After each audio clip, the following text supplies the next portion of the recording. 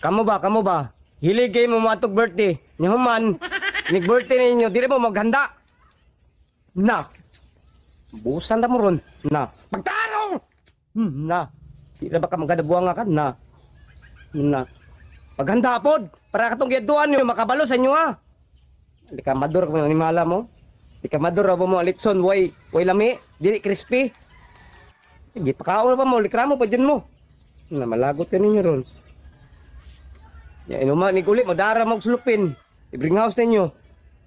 Ya, mura ba bag... Taba mo gasto ato. Na, sulti pa dyan mo nga, way lami ang sudan. Inyo na pinalit? Taba mo gasto ka na? Hmm? Naparuhon mo sinilas ron. No. Kung di mo mag-birthday, ay mo pa ma-birthday po kay luoy kayong gaduan ninyo. Di makabalo sa inyo ah.